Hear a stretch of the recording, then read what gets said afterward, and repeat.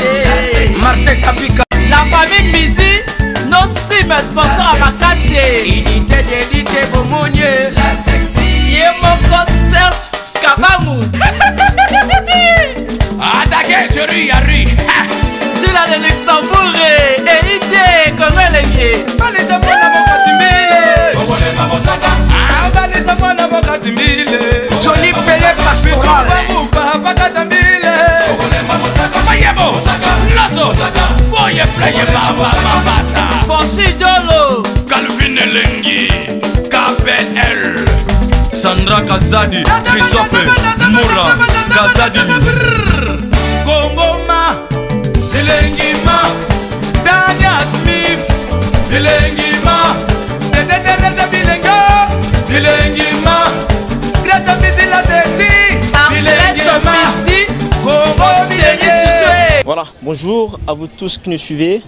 de partout à travers le pays, à travers le monde, aimables fidèles internautes du site 3W Congo, Elengi, bien sûr avec euh, Mike Lokamba, trois fois Nzambé, trois fois l'archevêque de la presse congolaise, autrement dit le président de tous les journalistes vivant en Europe, pourquoi pas euh, dans la ville-province de Kinshasa. Aujourd'hui, nous sommes toujours en Discord et pourquoi pas Donatella. Merci à tous ceux-là qui nous suivent. 665 a commencé par euh, Zola de la Cruz depuis Suisse. donc merci à vous. Mesdames et messieurs, comme vous le savez, cette émission a été toujours conçue par vous et pour vous. Une émission, bien sûr, des chroniques musicales, une émission qui ne cesse pas toujours à vous donner l'information à travers le pays, à travers euh, le monde. Aujourd'hui, comme d'habitude, j'aurai à recevoir comme ça un artiste musicien qui évolue au sein du groupe euh, de Cabossé à à la personne de hum, Axien Bass, au Axien eyebi ke kombo na yemo mpe ke etopaka bato tro ozala na de kombo apparemment na kati ya move nakosi okosi ko nakosi africain bas kilo ya bumbu eh, voilà merci à vous tous et pourquoi pas na groupe théâtral kitoko zamba napesi yo mbote toza troublé ça se passe toujours comme ça merci na bandeko tu à Paris et pourquoi pas na bandeko à Londres balobi malobaka nga na lobaka na lobaka nga toujours vérité mais soit kaka bandeko mususu na yebaka te na lobi vérité je suis leur président ezanga te bato bazo nomenga meilleur journaliste en 2015 c'est Mike Lokamba à qui la faute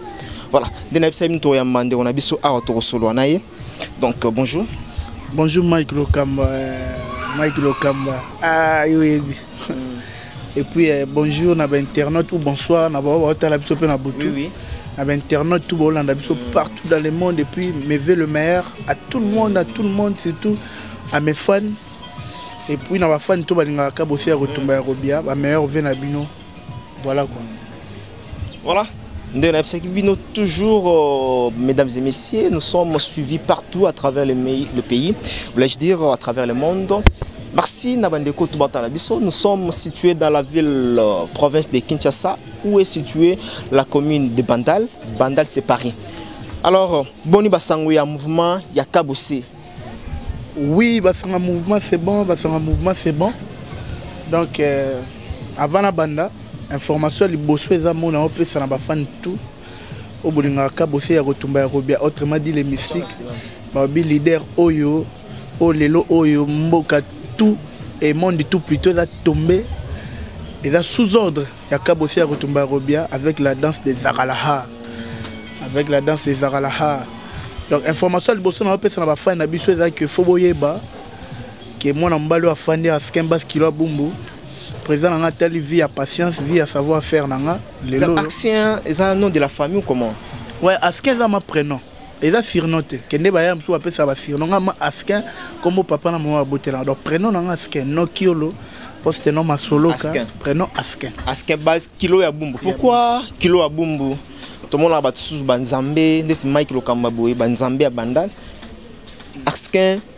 kilo ya bumbu cela veut dire quoi ntango olobi mike lokamba nzambe abandali donc mpo na kolobaki mike lokamba wana natif abandali obotami ya donc ngai na kilo abumbu parce ngai na natif abumbu mm. donc ngai ma nabotami na bumbu taka nabotama na maternité abumbu na kwa ya mafutakolonise nde bandal ah, siko mm. ngai nabotami ma na mafuta na landu e mafuta na kwa shaba nabotami wana na maternité abumba tu bayi motolu na ngai bakunda yango wana mm. ozo kopa mike lokamba mm. lokola naza mwana bumbu natalaki ke ah babasisa bave na biso lofon babima kilo ya congo mm. misu babima babendela kinshasa misu babima o oh, ve nanga mimishi aba mimishi basi bafosete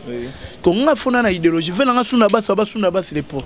nga natali ke non lokola naza parmi babasisa bumbu mpona bota mikuna na mwana bumbu fona yela na ngai idéologie kilo ya bumbu mais nao colonise monde entier mais na kilo mais quand tu dis ozo coloniser monde entier ozo faire religion na nini parce que tu ebi na maison mère babazista makasi bazali toyebi na mpe ya ferrigola il faut qu'on se le dise aussi que euh, ferrigola aza na basiste ya makasi la ozoloba ozocolonise monde entier d'abord ana kinshasa ozomona teke baninga mpe bazali bien bon naobi na colonise monde entier par rapport ya boulot oui. papa omanke bato te mpo ngai naa poli père na ngai kabosi azalaka très poli oyebi donc biso toya baartiste messager mm. ngai naobi nao colonise monde par rapport ya base pour dire que o oh, biso tobetela oyo tokoloba yango ya 5e génération baprésident ferre baprésident fali baprésident JDT, eh, président Bill, président Célio, voilà. Il y a cinquième génération. Si on a la cinquième génération, on a un bassiste. nga na loka nzambe na bango na ndenge nini mpo nazobeta baevre oyo ezaki mokili ezobina epuis bato baosentir make eh,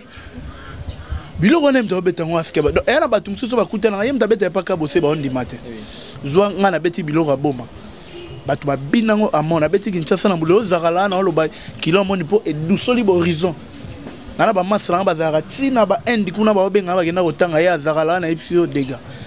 yango moni ke velo fombo abenga nga na pala obi ke vie ya savoir faire na yo napesi yo pouvoir coloniser bango ah d'accord toloba ke lofombo base oyo mpenza akanga nzambe voilà to biso toyebi quand même lofombo aza parmi ba meilleurs basistes na kati ya république démocratique du congo si on, on peut compter Lofombo aza parmi le meilleur bassiste jusqu'aujourd'hui soki andimi yo boye en tout cas c'est à féliciter alors na félicitation wana bato bazoloba pardon askin askin base euh, ozomona te ke lelo force na yo wana wana force de frappe le obetaka toyokaka preuve aneke nazwi temps ya koyoka zakalaha nazoka mingi base ezo domine ozokende na bapartition nyonso tu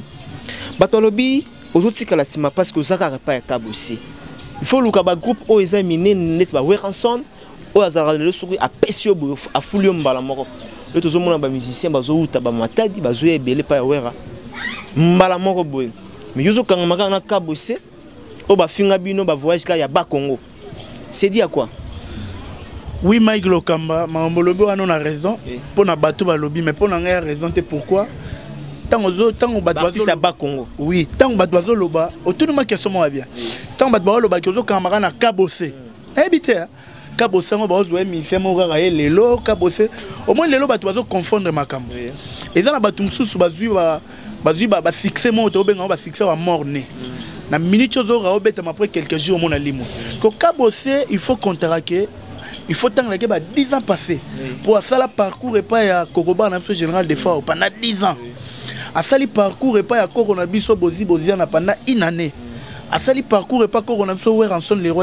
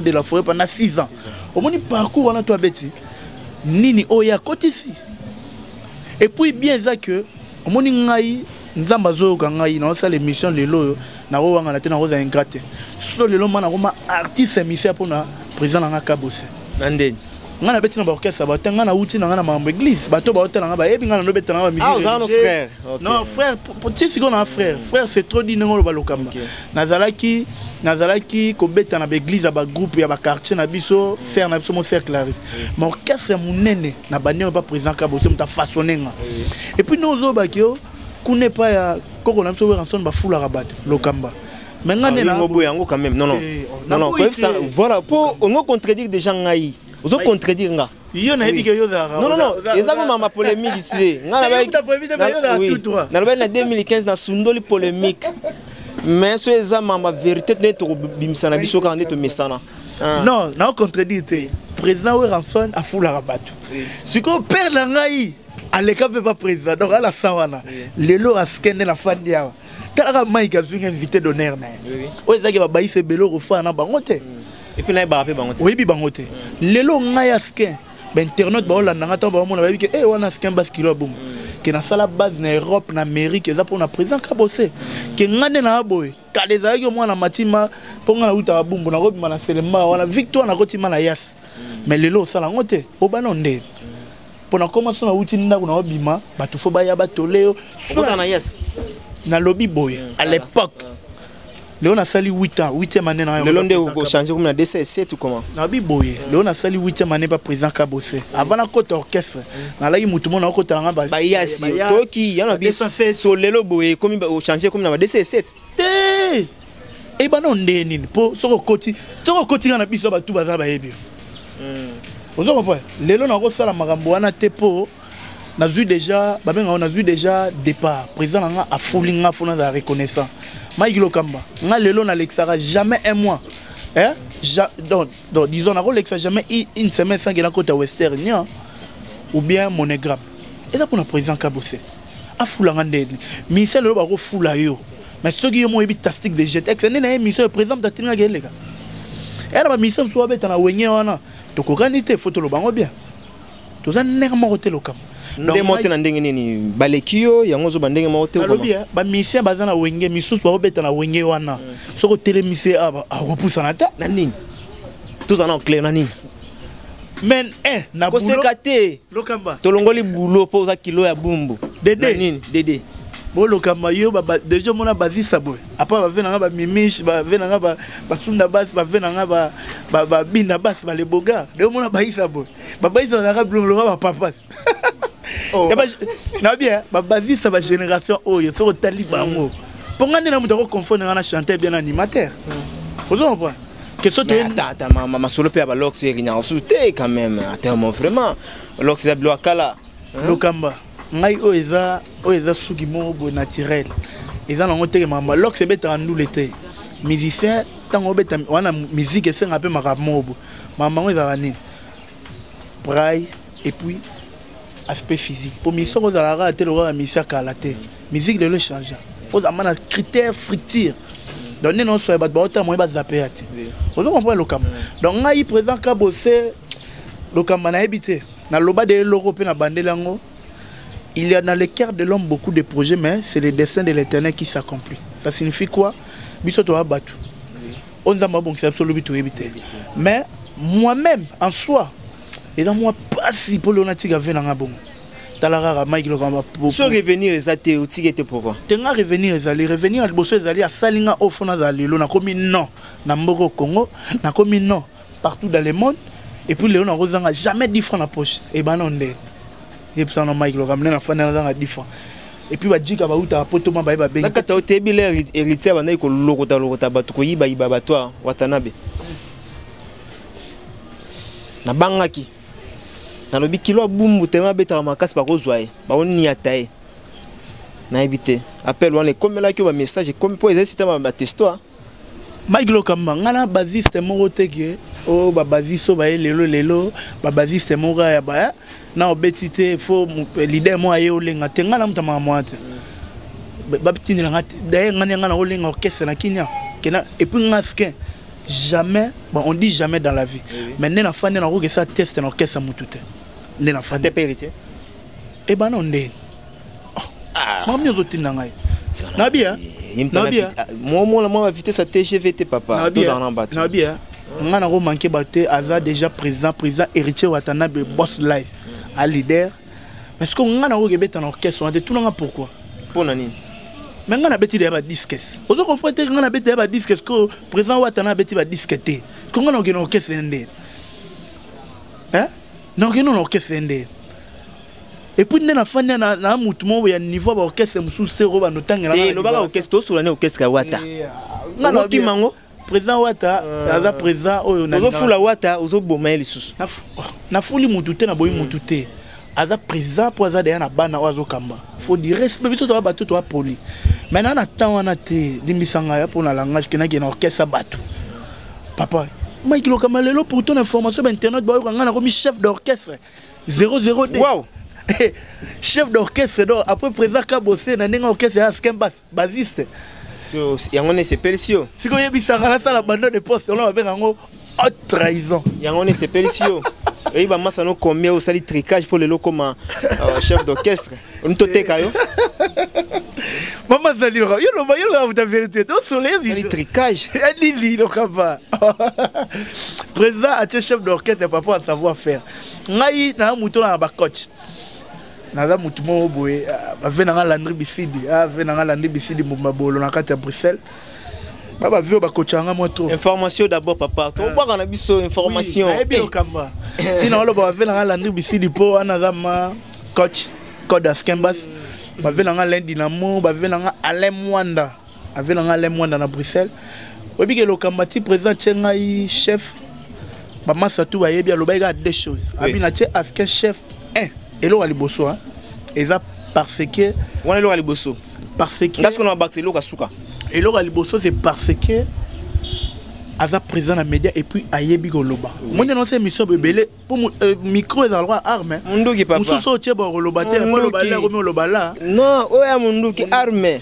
ah, soki tembe anglais oyo olobaka wana batielo micro osala émission so okoka siko président abi gaskin ayebi koloba et puis a présent na média et puis de deux a maboko milai te papa nakota orchestre président kabose depuis 2008 Hein? Le lot on a 2016, ça fait comme 8 ans. Donc, oui, on bas, donc on a des critères. Donc, on a qui défendre oui, oui. valablement. Oui, oui, Attends, bas, et puis, hein. présence. Et puis, il y a mis Bala Lobby dans ma bourre milaïté. On a bêti 8 ans en orchestre, on a. nga pa kozala musicien mm. naza mpe oyo naza petit ya président mpo nalaka na ve na ngai mais ve na ngai akosimbisa mbongo président na ngai kitaro yo teka indi eyindi eh, eyindi eh, eyindi eh, toza na kati ya bureau ya congo elenge masolo eza ndeni vedi toza na biso basponsor tozosalaka publicité mpo na sponsor na biso babi derrière grâce mbizi congo elenge qui est derrière qui est derrière congo elenge qui est derrière grâce mbizi na sasomoni masolo yango vedi bamaître maurice mpe bakoti yango baerik mando mpe bakoti masolo yango balobi boss de boss mwami rajabu mwami caps donc nayebisi bino bacongolais nayebisi no congolais de congolais nayebisi no kenya mpe elamuki na masolo yango bakenya mpe baye mabe donc toza na mama na agence ya danger oyo okumba nao jaguar te nano mata no jaguar te oyoka yango kaka na sango oyo kasi mbizela esekisa kuna audite te etali oyokaka kaka na sango na minute oyo mwami caps limited ya mwami rajabu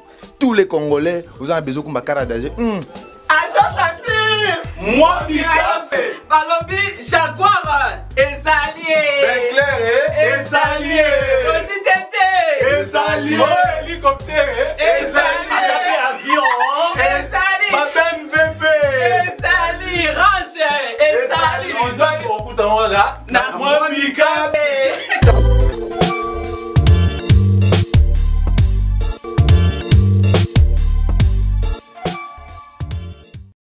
nalobaka information nadévoile kaka ngai africain na orchestre nateka non non non kombe likita koyo oteka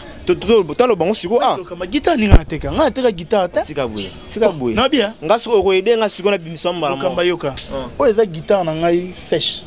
yango na travaillaka nango yango na osala nango mpe mission guitare oyo moto asomba guitare oyo don de don de landri bicide ve nanga moto apeya guitare oyo naa na guitare nangakoma mosu esalaka mwa bien te na matoi me eh, toke toke non non non Vas-y, vas-y. Eh, bah, comme Moussou Nolo Bessala, vas-y, vas-y. On a raison. Oh, papa. On a une guitare, on a son mauvais dans la landry bicide. Donc, il y a une guitare, on a une guitare, moi électrique, on a parlé. moto asombela yango mwana poto mpe kaka ozo kopa lokamba ngai asika na orchestre wana ya nakozala maboko milai te mpe guitare ya mouvement oyiba ondelemaki wana ngai na bien éduqué natangi chik nazwi diplôme normal na na famille chrétien mama ngai na mwana palema oyo balaba mwana shepa ngai asika nazala voye te deuxième critère yango wana yango wana epuis c'est tout c'est tout na fidélité na ngai yango apesi ngai anciennité na kati ya mosala donc oza yaya et puis biloko tutututu mais eloko moko ozangisi mpo hmm. président akomisa yo pembeni na ye fo bitebetebe mpo kabose nanu moto akisia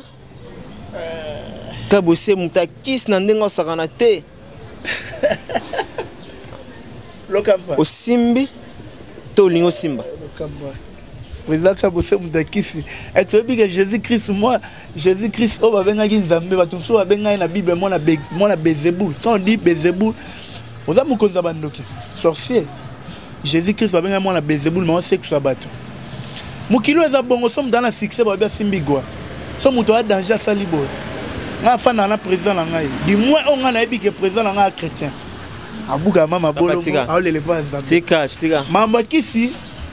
wana nayebi te tika na oyebi tika ngai askin nabetaka misiwana oconvaincre ngai te koto wana oconvaincre nga te tika bon président na nga kabosi aza na kisi kasi mm, lokola ye na mposa na lobo voilà ye mpe ndoki ya monene nga mpe naa na kisi kasi voilà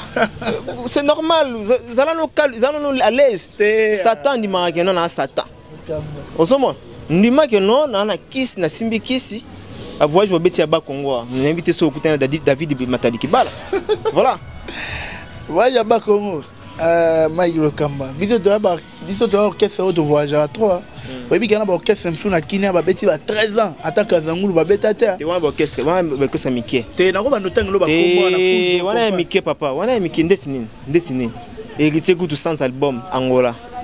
lokamba hmm. yoka nanu lelo bato tu bakomi kaka angola lokamba angola eza nini eza pays me naobi ya kinshasa na angola eza lokola na pote mpo mare na nga malolo loris euh, la congolaise mama na nga loris la congolaise na kati ya paris mm. mama na nga loris la congolaise so olanda mwana ye yo mm. nana mike lokamba esala bien soki nazwi ata coup de fil mike lokamba bato tout leo na kin vague moko ye angola angola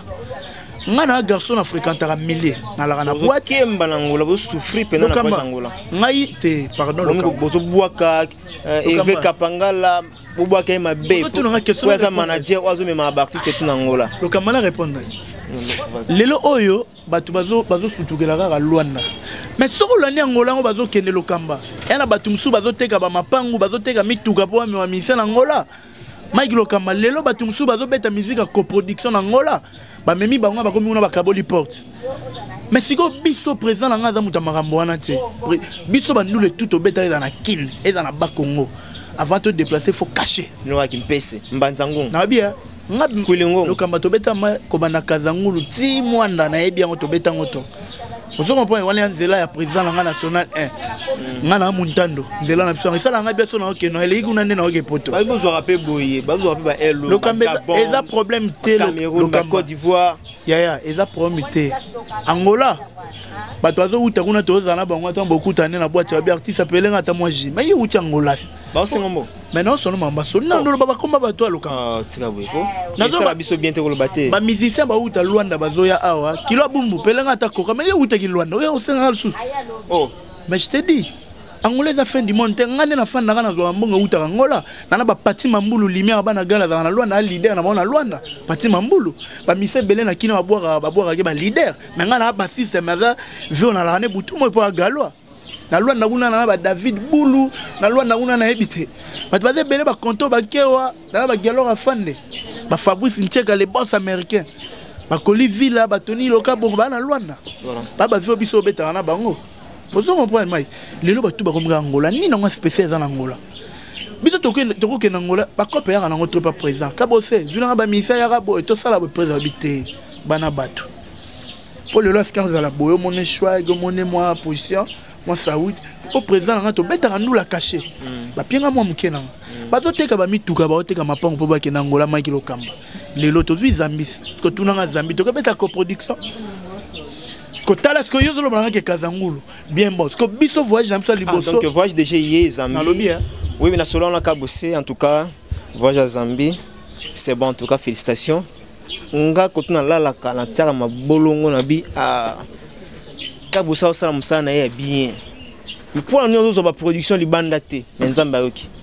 mpo nini ozwa baproduction libanda te parceke président na nga azelaka na ye temps lelo bani bamesene bakoma bata bakoteri omona motu moko moto akingani moto akingani mais président na nga asalaka musique ne mpo asepisa bafane nzambe sikoyo lokola président nanga asambelaka nzambe solo yango monike na opesa président merci namonike nzambe oyo masololaka ne wana ma nzambe nzambe wana okatosolola lelo okatosololaki wanaokandimaki wana epuis biso tokokende mpo kuna communauté congolaise ya mebele te mpo na mm. lwanda kuna nayebi biso soki na bapalango omona bato na biso ya bagali baza kuna batamasina baza kuna okama ya nde nini wana luanda basoma yaya okasomba badi wana mais ko zambi toyoki kuna ya makambo good morning how are you i am fine ozo comprendre parce que mi explique bat not very well i am some difficult dans alobaka anglais molo molo oh. to donc elobela ngo kuna la zambi wana sikozo provoquer mike lokamba to ndenge faut bayebi ke mike lokamba tu suis le seul journaliste oyo alobaka quatre langues ah, na défendaka yango mpena donc voilà mikolo babenga nga bato moko bapesi nga nkombo journaliste de face classe de face classe façon na matin avion face classe journaliste de face classe Mike Lokamba trois fois l'archevêque de la presse congolaise de face classe de face classe ah. Mike Lokamba de face classe en confirmant okay so I'm very happy Um. lokambo po tokende zambi po ya bosala kale il faut kokende te oh, eza il faut te donc nazokende nazokende parce que voyage wana ye moko président ayebisaki nga nazokende en tout cas tocouvrir événement esalaka bien donc mike euh, lokamba bainternet to bolanda biso merci na ndenge boyambaki zakala lelo chance oyo bopesaki na zakala lelo eboti makambo ya minene tozwi contrat ya zambie bafiche de ebimaki ya na internet bato bakotaka na internet baomona yango déjà bafiche ebimaki donc fidi oleve na asi le 8 février déjà tozwa avion mpo tokende zambie mpo concert eza le 12 le 13 na le 14 le 14 eya dimanche saint valentin tokobanda vendredi le 12 samedi le 13 et puis dimanche le 14 na kati ya lusaka soki tosilisi wana lusaka mpo tokende ndola ndola mpo toke kitwe donc nde toya boyeko nayebi te talaka nga nao vivre na nairobi wana ifo tozala mpe wana na kenya bamboka bamwa mirajabu le tout puissant mboka ya bakoko na nga général defao aza wana na kati ya, ya, ya kenya wana général defao aza wana tozala wana mike lokamba ozo comprendre donc lelo oyo bazoganga kaka angola naobi ya angola eza mboka oyo tokokende na biso yango mais biso toweli na ozambi mpo kuna eza makambo anglais eya pays anglophone kuna eza mpo obeta tol faut savoir parler parceque biso na orchestre na biso lokola english eyali parce que mi explique english comme lokola english eyali faut tobeta na ozambi wana english you try you try to speak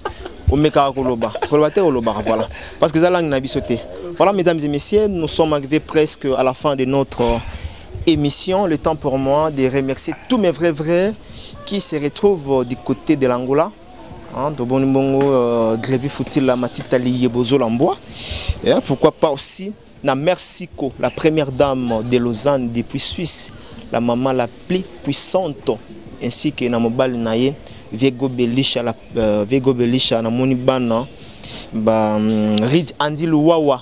un enfant pas comme les autres alobi mère ozosimba mike lokamba olympique aa nango nzambe ya bamama na kati ya suisse c'est mexico tolonga dossier avec mike lokamba la force qui écrase tala lelo oyo bapesa mère siko raison bato tu baloba na nkombo ya mère siko bapesa ye raison voilà merci aussi na bandeko tu baotala biso na patrick euh, meka ombre jaune oyo azotala biso en seneti moment depuis france patrick meka balobi kala mingi te na kati ya kinshasa tokoyamba yo comme il se doit merci aussi na grace mbis grace mbis la sexy hein? donc euh, merci balobi ezalaka nde boye dio ensemble diapason et pourquoi pas na monteur euh, na biso euh, lui c'est merveille mampuya monteur qui a une conscience professionnel ebeteli ekeseni merci alors euh, tokomi na biso na suka ya émission na biso ah, pour aujourd'hui mais euh, c'est peut-être une question qui m'intervient balobi askin ndumba na poto kobotola bamasa na ye basi ah, ah, ah, kolingaka basi ya bato olinga mwasi kaka mpo bimisi na diske toyebi bino si ah, lokamba yebisa biso verité eza nini ah, ah, lokamba lokamba lokamba eh, eh. oyebi ke mambo lobi wana lokamba nayebi te ya motu mo mzali soki makambo nga na mokamba nde na rapele obesali bien mais lokamba nga nano nga nde nafandi na na mwasi te ko na poto yango oh, maintenant osono ta normal nabala te tika baosilika wana ozowangana bango na télévision te mo baosilika nazo bakofashe papa oyo émission oyo eza teke tokotala yango awa soki na antenne a soki wapi te mm. oyo eza émission to na libuna nini oyo na mabwidi te na mabwidi tv oyo ma eza nazopesa international grace mbizi la eh. sexy mpo ye aza meme oza na se libulu ya mabele ah. otala yango grace mbizi ye aza sere oyo toswane mwa to na fone ayebi et puis eza émission oyo eza na impact ya makasi na mikili sikoyo yo oyebisa nga nanu lokamba nazala na mwasi siko nawangana na mikili naa na mwasi te nga nabotola mwasi ya bato mwasi ana nango na kobotola lokamba nalinga mwasi ya motu te nga daya nde motema na ezalaka clean na sans problème na motu ya bato mele bato batala bamona boye alors moto moko mpe akoki koloba moni bato baza badéception trop epai ya bamusicien bamusicien en tout cas jusqu'à présent bajournaliste tosala mwa analyse moko bina na mona bajournaliste eteke babiza namona bacomédien babiza na kobomba bato na loba yango basi babengisa bango na poto kobimabima bana basi ya bato bandumba namona mpe bamusicien babebisa na poto mais particulièrement na bajournaliste nana namona te jusqu'à présent alors est ce que motu mpe afai na ndako akoloba peke non euh, mpo nga nalobaka mpo bamosusu alobaka ke no ah ya ngai na na kini ya na poto mama so libala esengaki yo oza na poto ya na kini bobalana bokobalanaka moto akota yango aya te alors euh, askin moto akoloba mpe asapproche pembeni na yo me akoya mpe boye amoni ya baaventure moko boye mpo yo botolaka no basi olingaka no bilingalinga wana choix te mike lokamba omi ozolobanga lokamba ngai nalingaka basi nionga nalingaka basi bino babasi so botika basuki be bastema ya boye nayebi te omoni makambo wana olobi wana na raison mais biso to bato totangi chik balobaka na vie exceptionnelle ezangaka te ezalaka c'est-à-dire bato tu bakozala bandumba momona motu mwa aza na ndumba te par là naye nalobani bamisien babiza bien bon ex bamisien tout ya congo baa bandumba bamisien tout ya congo babiza balobaka na adage mo balobaka moyaka moko afingisa bayaka tout lokola bamisien babanda yango déjà yango elata bato tous ozo kopona lokambo mais du moins ngai nasalaka effort wana moni mosala musique toobeta surtout biso bainstrumentiste soki o se focaliser kaka na makambo ya basi obomi carrière pourquoi obomi carrière instrumentiste azalaka moto oyo azalaka à tout moment na guitare ne mpona kotravaille concentré mpo lelo mboka ebina nga zakala lelo nayebisi yo monde entier mpo babina moka babasi wana ebeta wana mpo nazwaki temps mais so naa na bamomi mo baomboyemboye nga mobulu mais naza mpe motu naa na droit ya kolinga mais na moment opportun mokolo nzambe alobaki no mwasi yo obala ye wana ah, epo azala na poto azala na kina azala na ngola azala wapi epromi te laisse le temps au temps mais oyo oh, mokili fo oyebaki askin aza na engagement na motu te na marie te na fiança motu te namona première fois namona na moto alobi ne clairement na télévision bon voilà donc euh, s'engage que lui Voilà quoi Mike Lokamba na nga engagement na mutu te. Voilà, merci, euh, on va pas aussi toutes les magara wana euh guitare eza mupanzi. Tozongisa bato nano na biloko moko ya ba nostalgie et osala biso bien. Ask un base kilo ya mboka. na guitare na ye namoni don don basala ye malgré bakombo mosusu esalaka biso ba matoi mpasi na kotanga yango te eh, te ah, wana soko motumbolanga te nga natanga ye te wana otumbolanga ah. nostalgie mike lokamba mm. générique na beta bloko abomaka na poatalako ya te mm. beta ata moke mm. Biloko ya bome banda.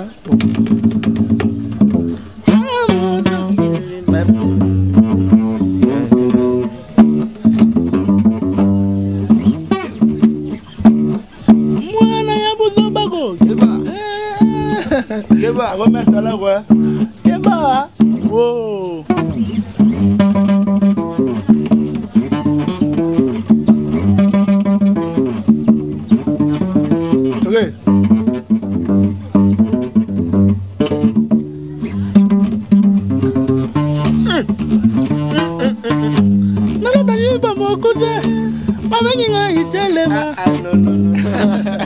na mosala au fait motu na motu ana expérience na ye donc comprenez motu na motu ana domaine na ye ta maboko ndenge ezo donc maboko ezobimisa son ah, lokamba lokamba loka ya boulot na biso yango toloba fo ozala concentré biso ozwa temps otravaille eloko ekoti eloko oleka mosala ya te koloba bien bon mais il faut avoir aussi le travail là c'est bien alors euh, rapidement tozonga lisusu na morceau ya suka ya zagalara hmm. partition euh, bah, euh, obeti nini na kati wana mais zagalara ce n'est place mama mpo zagalara ntango tobeti yango ntango babwaka zagala esilaki ntango esili sikoyo johnny meme animateur messager abi eh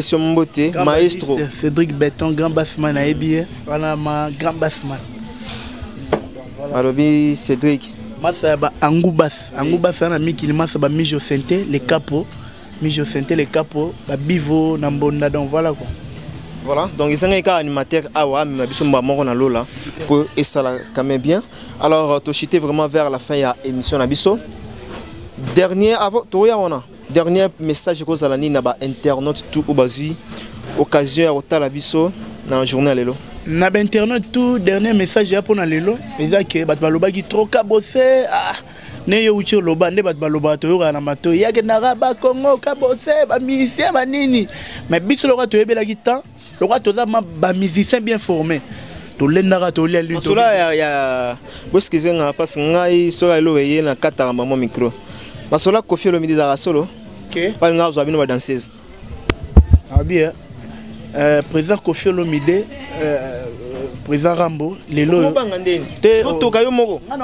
oh. natoka te oh. répondre eza simple nabi boye nalobi yango nabangi te président kofi olomide ve na biso rambo wana grand prêtre nalela mpe trop mokonzi ya barumba mokonzi ya chacho omoni lelo oyo makambo mosusu bato balobaka oyo alobaki boye asalaki boye eza miziki ya congo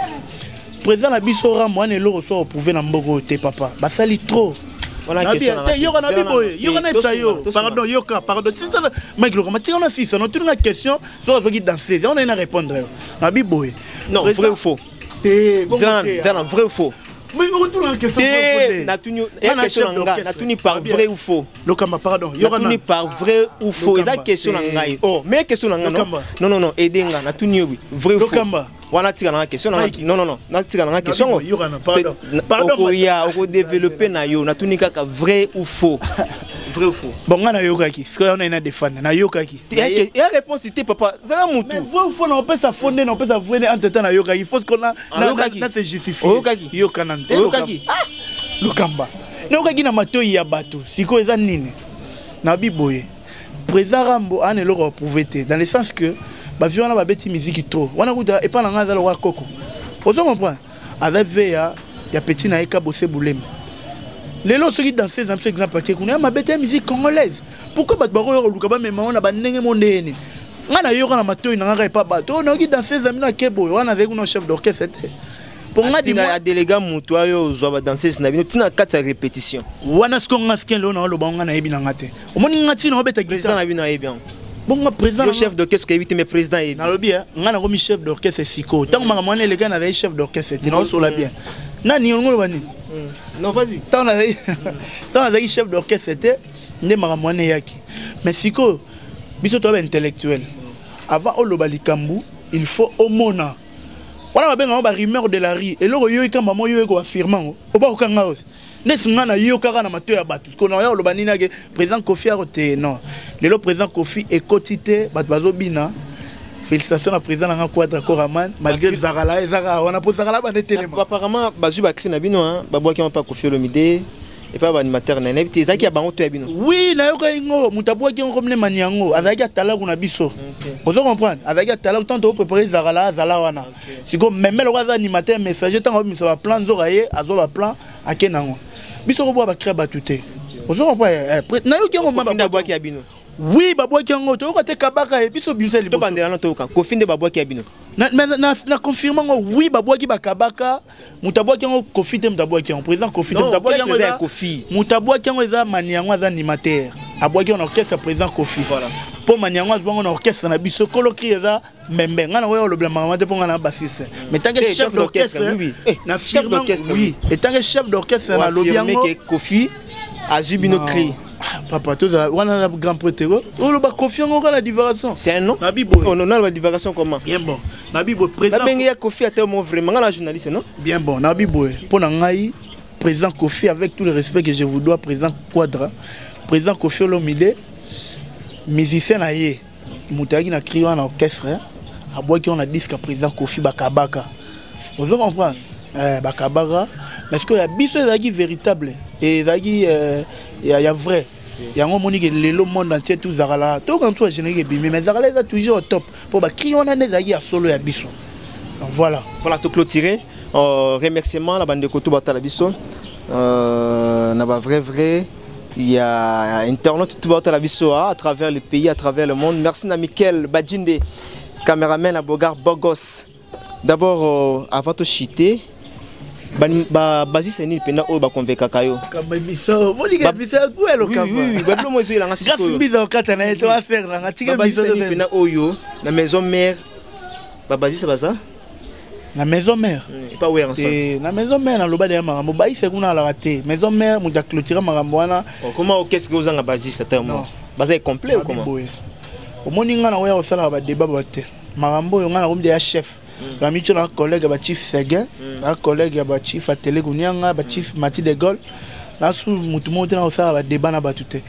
na maison mère ntango vie na biso mimisha ye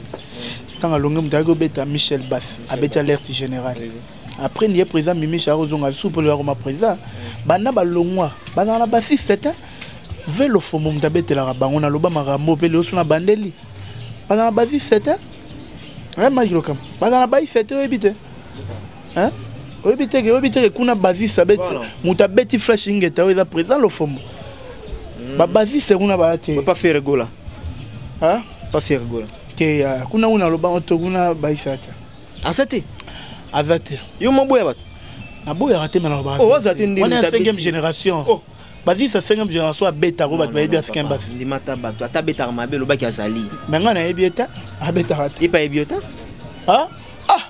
Africain base kilo boumou to benga ba ebio.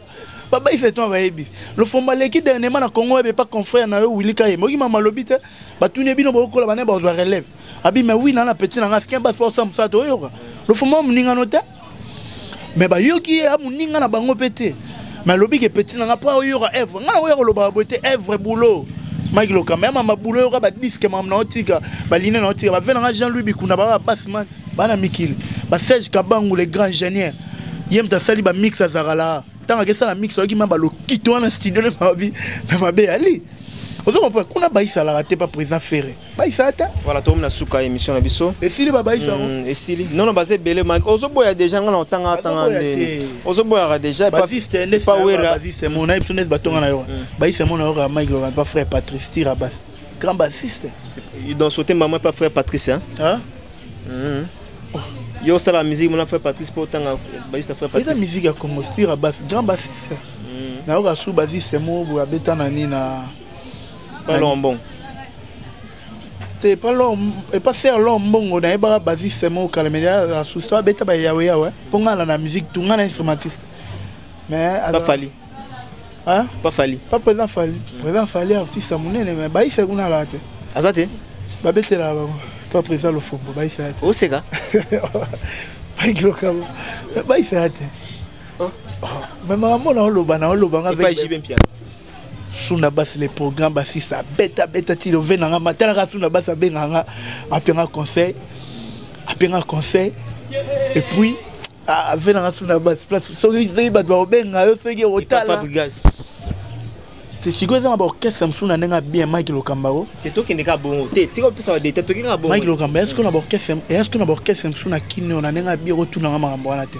mpo nga na niveau ya baorchestre mosusu te oyoko banatuni fabrique se dérange yo fabrique se dérange yo na babia yo ozotunanga orchestre ya bato light musique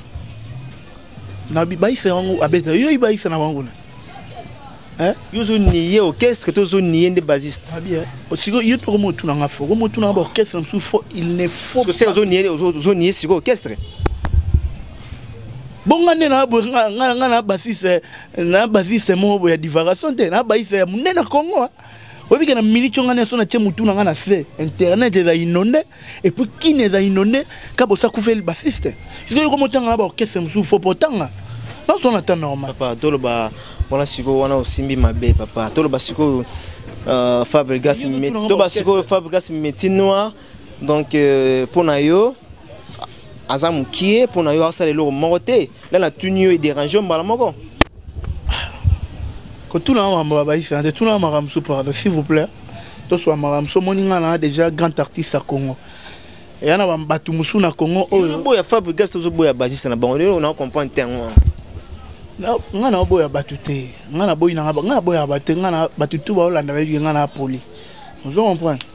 Euh, maman na nga Zizel Masamuna, maman na Jenny Sibling, maman na Ketcha, maman na Isaac, apesa nga conseil trop ma Zizel. Ba Genevieve Kitoko yaba, ba Trésor yaba, et puis ba oncle René Labé, ba pesa nga conseil nga na robo ya batu te. Mais ce qu'on a nenga mabete, na niveau na ngai.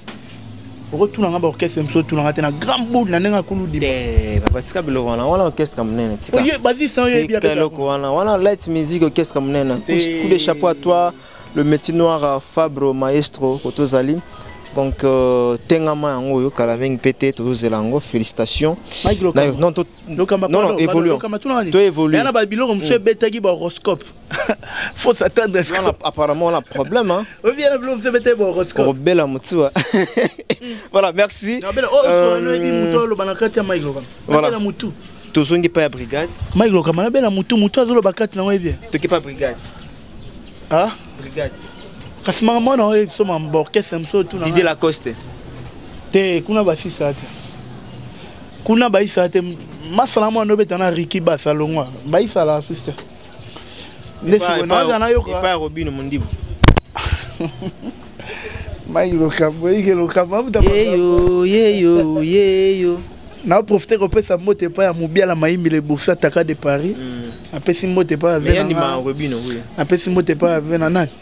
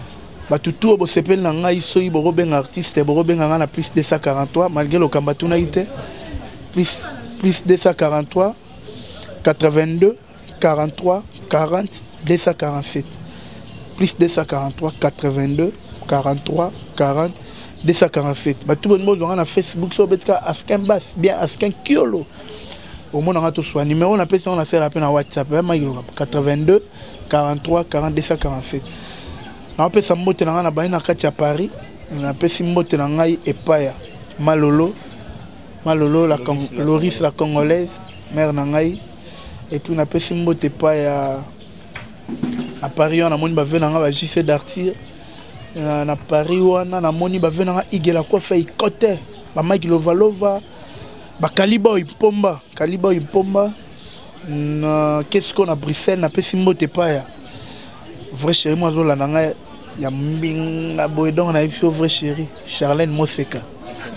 charlene moseka napesi mbote na bruxelles wana ba faux chéri bazala te ba vrai chéri yoka ah te ndumba napesi mbote na kati ya bruxelles epa vrai chéri sola nanga mwasi ya pembe elle puissance la patrona nde tosololaki kaka elle puissance la patrona apesi mbote na paris lisusu epai ya kajulu samba kajulu samba vrai chéri doze nao na facebook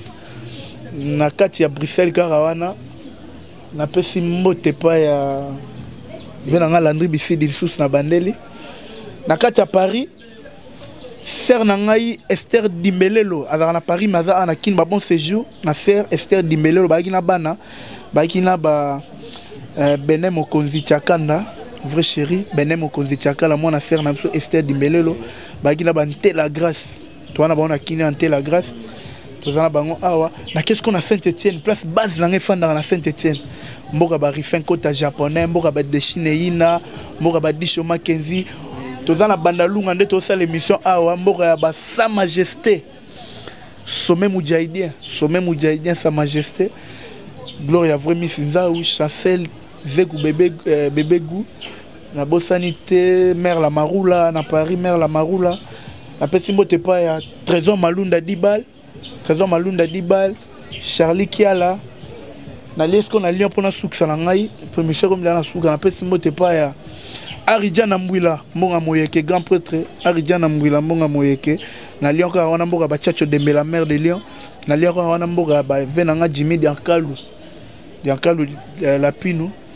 et puis euh, bayambi biso awa na banda lungwa na banda lisiki toza na staff ya mare na nga ani kabedi ah. euh, mare na nga ani kabedi na banda lungwa mboka basome some some some mujahidi ya sa majesté na banda lungwa awa voilà, merci merci askin bas euh, pardon ma mm. napesi mbote epai ave na ngai na états-unis fredi kimbembi kimbembi mm. epai azali chanteur kala ave na ngai na états-unis kovo kitemo mundabi nabosani te na bato baleki ebele na londres joli kitoko e na londres vrai chéri olanda biso grand prêtre mare grand prêtre mare mare na nga rita zangu la japonaise mare na nga rita zangu la japonaise bato tu balingi babenga 82 43 42 147 tobenga tosolola grace mbizi la sexy vrai chéri na lela yo trop ba merci à toi voilà merci euh, na bandeko to batalaki biso du début jusqu'à la fin namoni bato to otangi awa vraiment zamba grand comédien mm. ewing zamba grand comédien ba comédien sukuna ba Hans Luzolo ba la Duchesse ba José de Londres wana ba ba bureau na ngai yo pe bato na mm, kwa bato pe mère la Marula donc voilà 4 en tout cas sans problème donc euh, tozalaka bien na bango voilà namoni bato tobwaki asali nga kame bien bato mosusu nayoka bango kala orapele nga bato mosusu awa euh, bafrappeur bafrappeur mpe baza na kati wana merci nakotanga nanga nkombo te mpo na polémique voilà